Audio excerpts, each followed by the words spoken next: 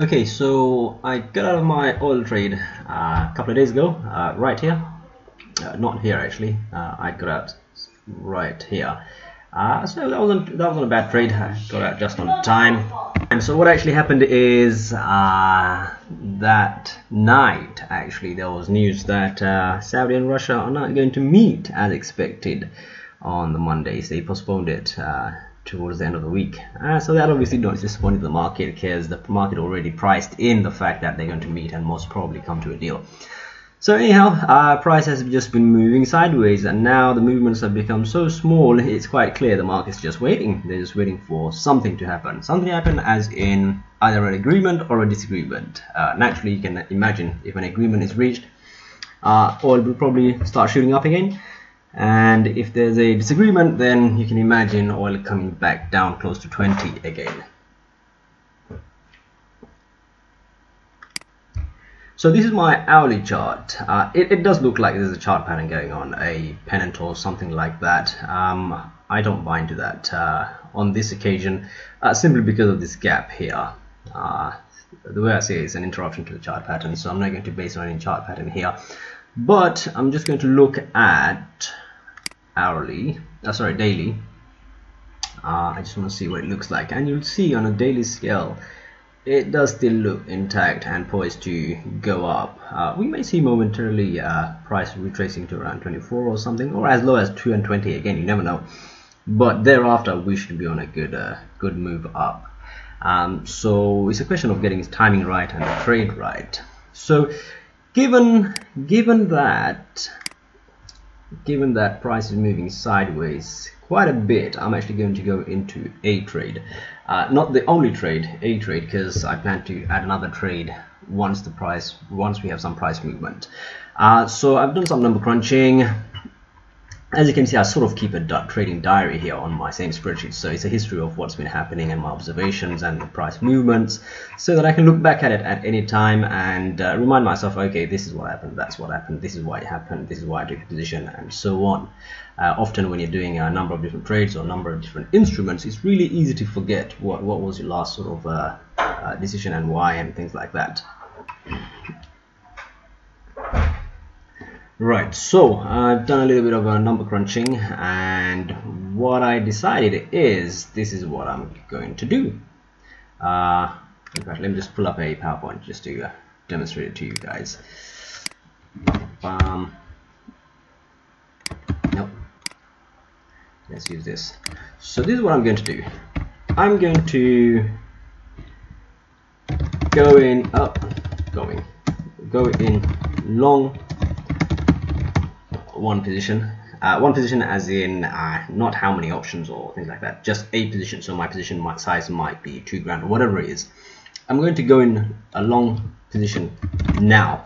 Now suppose, now suppose if price comes to around 24, it retraces a bit more because at the moment it's about 27. If it retraces about 24, I'm going to go in a long again at 24. I'm going to take a second position.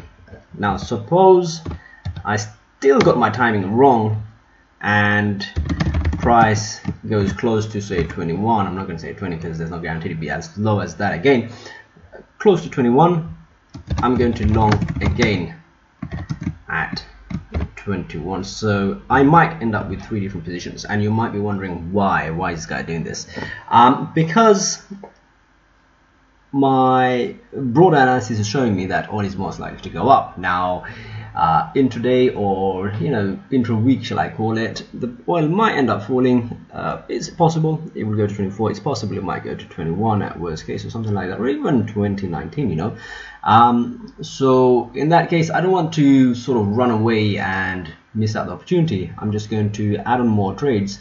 And what actually happens is something known as dollar cost averaging. So your price sort of uh, averages out to a lower enterprise. And hopefully if it does reach around 21 when it does bounce up all three positions will uh, go back into profit and I'll have a nice little uh, uh, profit. Um, but suppose suppose I go in long now and price doesn't uh, fall in which case my fourth option is I'm going to add one more position at a higher price okay before it sort of uh, zooms off because uh, obviously I wanted a, a sizable position on this because I'm so convinced that oil is going to rise um, so this is this is the strategy that I have in mind. I've sort of summarized in a different wording here. I've sort of mentioned the different ratios I'm going to have in terms of my calls and puts, but uh, uh, the scope of this video is is not about the ratios of calls and puts because uh, that's basically the sort of strategy that I'm using in terms of my position. Um, hopefully in further videos I can talk about this kind of stuff. Um, so, and again, I'm, I'm experimenting myself, experimenting myself. Don't forget, uh, it's been 10 years coming back on the market. Again, these ratios and stuff, I'm just sort of experimenting, see what works and what doesn't work. Something interesting I should show you actually is I've tried a ratio already on my virtual trading account and I was pleasantly surprised. Um, it's quite shocking actually, I'll show you. So here we've got the virtual trade that I did for S&P 500 uh, with uh, oh, it's, it's, a straddle um, but more inclined towards the downside. So what I did was I bought 200 put options and 80 call options. So I'm more heavy in the downside. But look what's happened. Interestingly enough even though the market's been rising. It went up 5% yesterday. Pre-market is up 4% again today as well. Let me just quickly show you just so that you're convinced that the market is rising. Uh, USA 500 that's what they call it on this. Uh, they call it SPY as well. No no no that's the index of the index. Let's go USA 500 ah this one that's the one I want. Let me show you the chart for this interestingly enough let's just go to daily. Oh look this is where we went in with our put because again we were expecting the market to continue its decline but then you've got some news coming out about corona slowing down and whatnot and the market just jumped up around 7% yesterday and already up over another 4% today uh, 3 3.15% today. Um, so that's that. So you'd expect me to be in a loss on my virtual trade but because I did a straddle with options and wait, let's go back. Yep I did straddle. My put option is on a loss of four grand and that's on the virtual portfolio by the way this is not real money. But my call option which was the hedge the protection has actually exceeded my put option value and is up seven grand. So my net is 3000 in profit even though I was wrong. Pretty cool huh pretty cool. Um, so and and these are sort of uh, things that I'm playing around with. Uh, again these are stuff that I used to do back in the days just jogging my memory on how things were uh, trying different ratios to see what's the best outcome I get. And again these ratios aren't really out of nowhere. Uh, there, there's some basis on this. Um, so obviously I've got some prior experience in terms of using these ratios. So uh, it, it's hard for me to sort of give you a history on these numbers. Uh, just take my word for it. Uh, this is what I'm going to use at the moment. I might tweak them as I go along in my journey.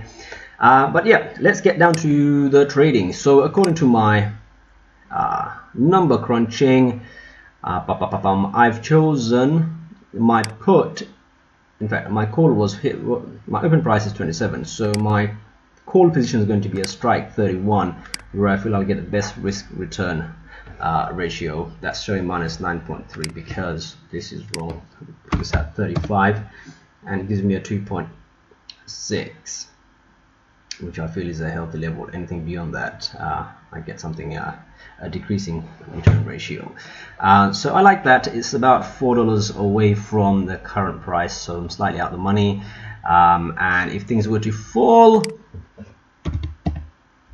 if things were to fall down to the 20 range then my good risk reward here would be at a strike of 23 uh, normally I wouldn't uh, I wouldn't even have to do that. What I do is whatever the current price is if my call is four dollars away I'd also put my put four dollars away. It doesn't have to be four dollars away. Uh, it could have been a put at strike 26 or 25 or 24 it will still work but I might not end up with uh, the best balance or uh, best uh, reward.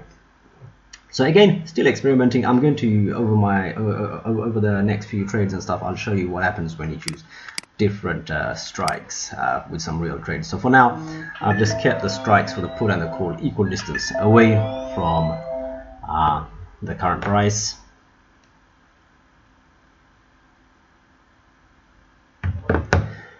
So let's go in and trade. Uh, strike 31 call. That's what I want. Um, I'm on the virtual portfolio. Let's go into real money.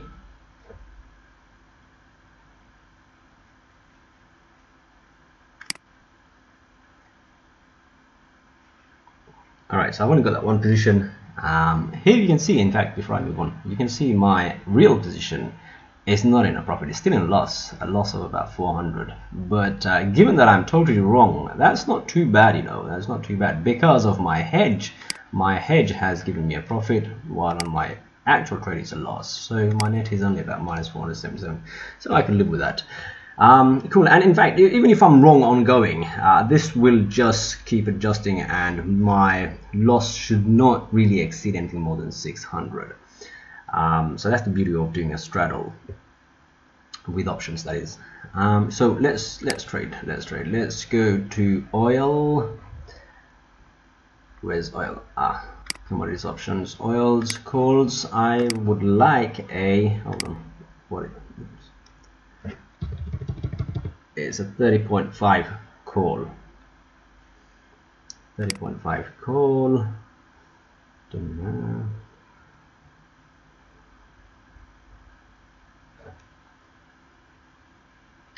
Oh wow, these guys have fallen significantly today. Alright, 30.5 call. So it's something in between, something that's not uh, fallen too much and something that's not too stable. Okay. Uh, as per my calculation, that's the one I need, so that's the one I need. I'll go for it. Let me have a quick chart. Anything funny or going on here? Oh, I see two bottoms here. That's this is. Oh no no, this is this is daily. Hold on, let's look at hour. Okay, so it's, it's mirroring the oil price closely. I mean, it looks like it's just going to tend down. We don't know, but even if it does, I don't really care. I've, I've got a straddle with the hedge, so I don't really, uh, I'm not going to freak out too much. I'm just going to go into another position as I explained. So 30.5 is, yep, 34.5. Oil, coal, 30.5. Hey, literally while I was talking to you, this just changed, didn't it? Well, that's not fair. This just literally changed just as I was talking to you. Because I'm pretty sure it said minus 12%. Okay, never mind, that's that's real trading for you. Uh, this is uh, this is what we call slippage. So by the time you place the trade and it's executed, the price can be slightly different. So 30.5 call.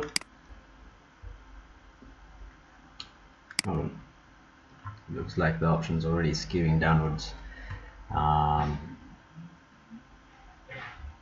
yeah I'm going in nonetheless okay you can see it looks like uh, it's going to be a bad entry. Uh, possibly.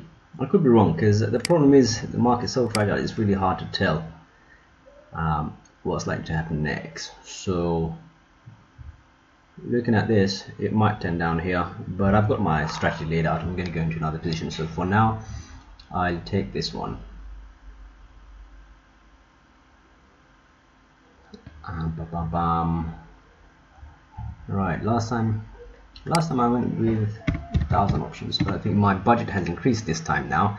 Yep, my budget has increased because my balance has increased. Oh, by the way, my balance is actually ten thousand, starting at five thousand.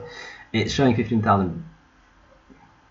It's showing fifteen thousand because I topped up uh, another five grand because uh, remember I said in my early videos I'm going to start off with a 10,000 account so that was the remaining five grand that was supposed to come in um, so the actual profit here is only five grand. Um, right, so we're going for 2,000 options. Accounts double the size, so our trade size has increased. Uh, I'm not going to mention a close profit just yet because I think it'd be too uh, too premature. But I'm, I'm I'm thinking something around something around here, three, three point four, uh, something around there uh, at best somewhere up there so we'll see we'll see all in good time um, bum, bum, bum. and let's click buy. And you will see instantly it goes into a loss. Let's look at my position. You'll see instantly it goes into a loss. That that's the spread between the bid and the ask uh, which I explained on one of the earlier videos. Uh, that's the profit that these guys have taken. Uh, um, again got no choice got to pay that. Um, so now let's go for the hedge position which is the put and the put was at 22.5 okay so uh, oh goodness me. That was uh, seriously bad timing right? I just got into my position and oil is slipping. Uh, I know why it's happening. US uh, pre-market is open now. Uh, so the US market will be open in half an hour and the pre-market trading is just pushing it down. Um, so yeah. Hmm. Very bad timing. But no worries. No worries. Uh, let's go in with our put at the uh, as long as we come out you know winning on the at the end that's what's important. So let's go in with the put which was at 22.5 strike of 22.5 that's down 8 percent. Oh goodness me. It's not letting me buy. There's not enough uh, opportunities there. Uh, I've, I've got a chance. Jeez. I don't want that many. 2000 what's that gonna give me? That no no no. Hold on a minute. Gotta follow my ratios. A 4 to 3 yep so keeping to my ratios 4 to 3 I'll have to go in on 1500 puts on this. As if there's any liquidity it's not letting me buy. It's not letting me buy. And it's letting me buy. Am I in? Am I in? I am in.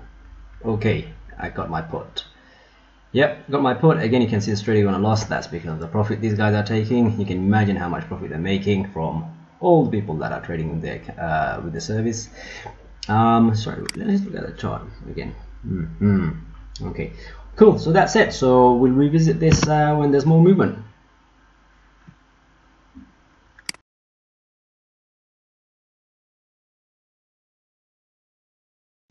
Hi guys, it's Nasir here again. Um, it's it's it's 10:30 at night in Dubai now. I'm in Dubai, and uh, I was in bed. And out of curiosity, I was just checking on my phone, uh, just a quick glance. I just wanted to see what was happening uh, near the close of trade, U.S. Uh, time, uh, before the U.S. markets close. And I glanced at this and had a bit of a shock actually. Oil started to slide again. I was sort of expecting the oil to be sliding towards the end um, but not by that much you remember in my last video I said that we'd go in again at 24 and it, it is at that region 24 so uh, you know gotta stick by my rule. Uh, the price has come down as I pretty much expected so I'm going to go in with another trade. Because uh, I don't know if 24 is a place where it's to stop or it's to continue sliding so I'm going to get in with another position at 24 and if it does slide further then I'm going to go in with another position close to 20 around 21 but just before that I just want to quickly look at the positions because uh, I noticed the loss has reduced. Uh, I just want to see what's going on. So you can see I did a top up of the trade actually. I got some uh, calculations wrong on the last incident. I, I, did a few too few options so I've just topped it up. As you can see the top up has balanced itself out. Uh, mind you this is for a am uh, expecting the price to increase but because the price has dropped and my put premium has increased it's balanced itself out and my initial uh, position is close to balancing out. It's around 400 loss. And the market one that I had before uh, it's on a loss of about 500 so still sticking to the 2 600 range. So as you can see it's not done much damage to my portfolio so it's all good. Um, that's the whole beauty of doing straddles